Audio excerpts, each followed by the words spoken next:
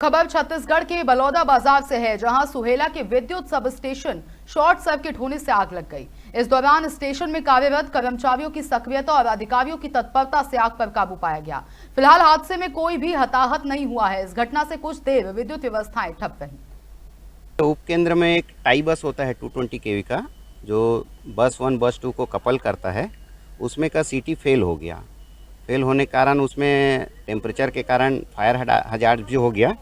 जिसके कारण से सप्लाई जो है बाईस बज के पच्चीस मिनट में टोटल इंटरप्शन हो गया, है ना? तो इसको देखते हुए जल्दी से जल्दी दिशा निर्देश जारी करते हुए सुपरवाइज़र को बुलाया गया और बाईस बज के संतावन मिनट में बस वन को चालू करके सिस्टम को नॉर्मल कर लिया गया था सुहेला में। लेकिन इसके पहले भी हम लोग भाटापारा से सप्लाई लेकर उसको बलौदा बाज़ार कसडोल एरिया को चालू किया जा चुका था। और आज जो है, इसको रिप्लेसमेंट का काम युद्ध स्तर पर किया जा रहा है ताकि शाम तक सारा सिस्टम नॉर्मल हो जाए। हालाँकि सिस्टम सारे चालू हो गए हैं, कहीं कोई दिक्कत नहीं है। बस ये इक्विपमेंट को अपने को बदलना है आज।